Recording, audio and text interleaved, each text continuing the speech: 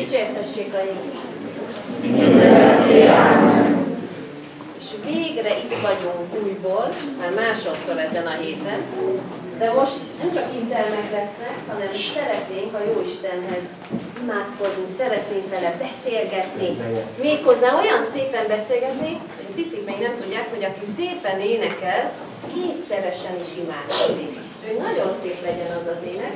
Tanulunk egy gyönyörű szép Jézus Isten köszöntő éneket, amiben hálát adunk azért, hogy itt lehetünk, hálát adunk azért, hogy felébredtünk, hogy újra iskolásak vagyunk, egészségesek vagyunk.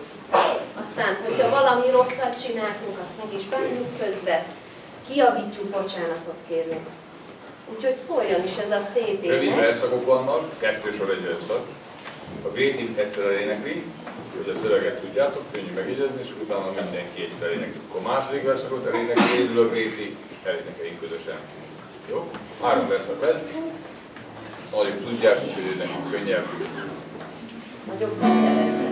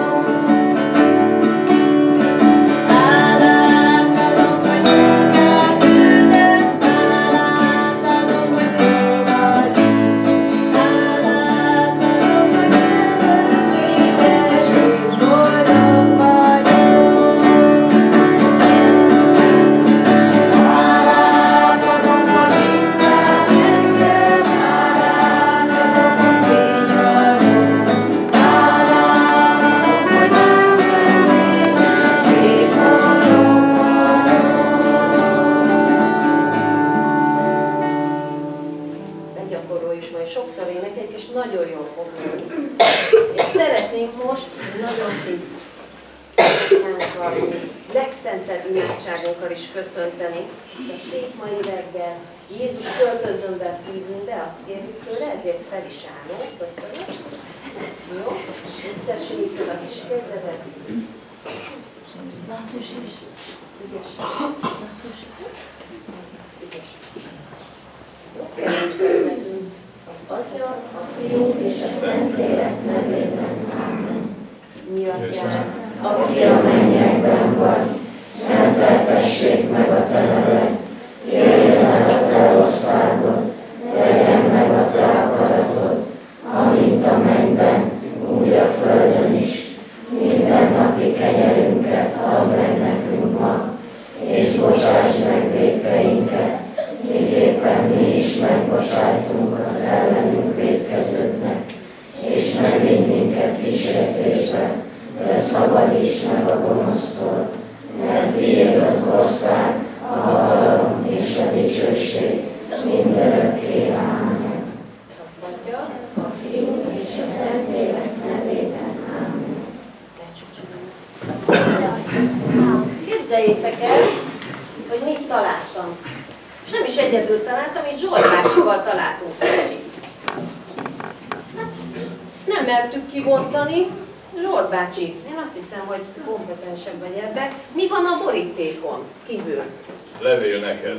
Levél neked. Na most akkor ez, ez kinek szól vajon? Szerintetek kinek szól ez?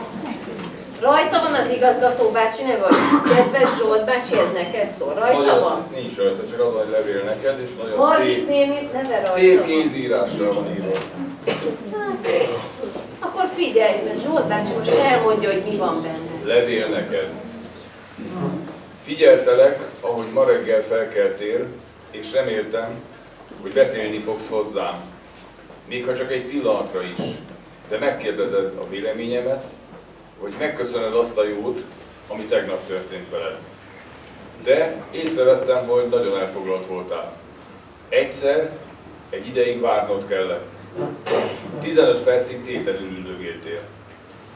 Aztán láttam, beszélni akarsz velem, de te ehelyett a telefonhoz rohantál, és felhívtad egy barátodat, hogy ki- kitárgyaljatok valakit. Egész nap türelmesen néztelek. Végső soron azt hittem, több, do- több dolgod volt annál, mint sem, hogy szakítani tudtál volna rám egy kis időt. Vártam, hogy vagy örömmel megköszönöd a jó jegyeket, amit kaptál a felmérésre, a feleletre, megköszönöd a piros pontokat, de láttam, hogy eszedben sem, sem jutok. Észrevettem, hogy ebéd előtt körülnéztél. Talán kínosnak érezted, hogy hozzám szólj, ezért nem hajtottad le a fejed. Mikor három vagy négy asztallal odébb néztél, láttad, amit néhány barátod röviden beszél hozzám, mielőtt enni kezdett. Te nem tetted. Rendben. De még van idő, és remélem, hogy egyszer majd fogsz velem beszélni. Hazamentél. Úgy tűnt, sok dolgod van. Miután néhányat elvégeztél, bekapcsoltad a tévét. Te csak ülsz, és gondolatok nélkül nézed a műsort. Ismét türelmesen vártam, míg tévézés közben megvacsoráztál, de most sem szóltál hozzá. Lefekvéskor túl fáradtnak látszottál, jó ét kívántál a családodnak, vagy bezuhantál az ágyba, és pillanatok alatt el is aludtál. Ez érthető, mert talán fel sem tudod fogni, hogy én mindig ott vagyok melletted. Türelmesebb vagyok, mint gondolnád. Meg akarlak tanítani arra is, hogy légy türelmes másokkal.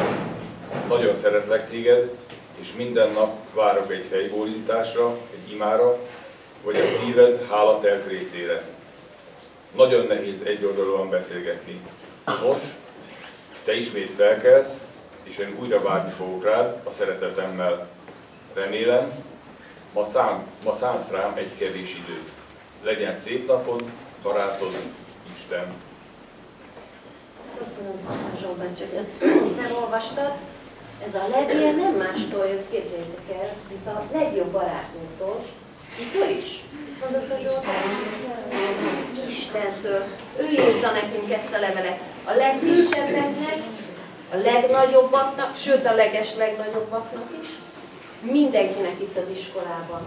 Kicsinek, nagynak, gyereknek, felnőttnek, mindannyiunknak szól ez az üzenet. És arra kérlek, hogy tedd össze a kezed, hajtsd meg a kis bejedet,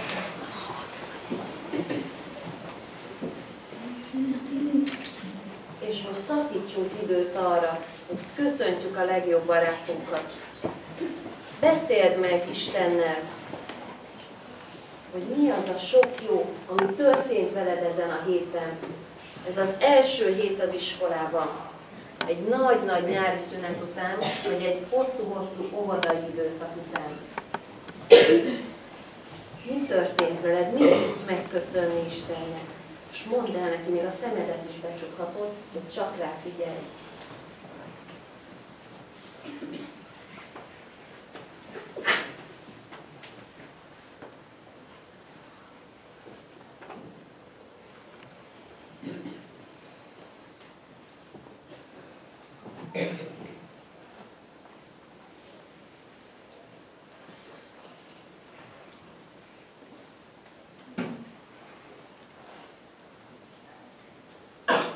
Köszönjük Istenünk, hogy Te velünk vagy. Kérlek, hogy áld meg azt a tanévet is.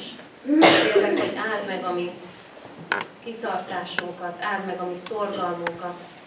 Kérlek, hogy, kérlek, hogy adj a szívünkbe csak szeretetet, csak jóságot, hogy ezt tovább tudjuk osztani, tovább tudjuk sugározni a többiek felé. és ezért most szeretnénk hálaadós énekünkkel bezárni ezt a szép reggeli áhítatot, és nagyon szép napot kívánok mindenkinek. tartanál ezt nekünk Tartom. Szöveg problémáink volt, hogy üzletről azt nem láttuk. Akkor három verszak egy jó?